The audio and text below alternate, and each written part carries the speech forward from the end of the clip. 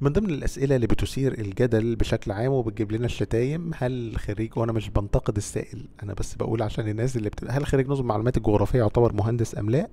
الإجابة قولا واحدا لا.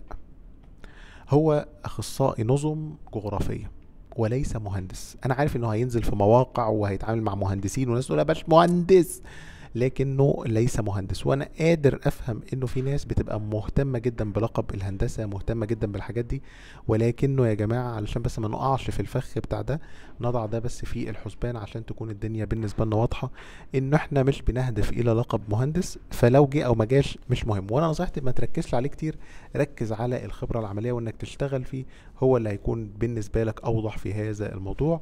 وربنا يوفقك ويكتب لك اللي فيه الخير بإذن الله. ونصيحتي بلاش تركز على فكرة ال obsessing بتاع أو ال- الفكر الطريقة أو النازله لازم أبقى مهندس وأكتب Eng في الفيسبوك والكلام ده. ركز على الشغل وركز إنك تكون أكثر جودة في عملك وبلاش تقارن نفسك بالمهندسين وربنا يكتب لك اللي فيه الخير وبالتوفيق إن شاء الله وارجوكوا بلاش في التعليقات الخناق وبالتوفيق.